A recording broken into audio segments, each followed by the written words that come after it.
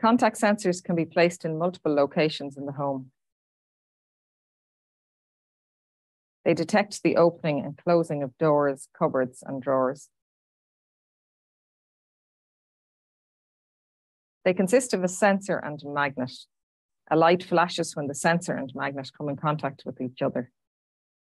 Contact sensors can be placed inside kitchen cupboards or drawers. Smart plugs were used in the Nex project to detect the use of electrical appliances in the home. Smart plugs registered the use of appliances such as microwaves, kettles, and toasters.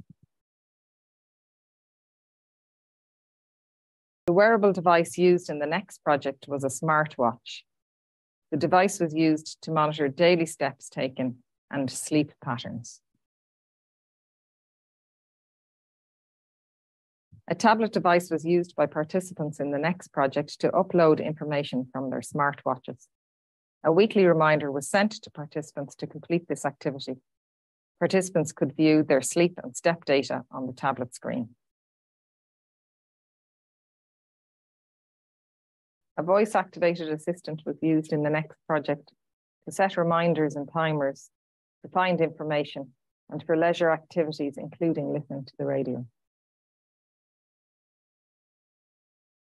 Multi-purpose sensors, also known as six-in-one sensors, capture motion, temperature, humidity, vibration, illumination, and ultraviolet light. In the context of the Nex project, these sensors were used to detect motion around the home. This multi-purpose sensor was also used to detect humidity in the bathroom as an indicator of a bathing event.